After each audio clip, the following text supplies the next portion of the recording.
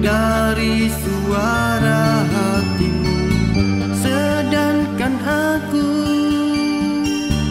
sudah tahu cintaku berikan kau persiakan.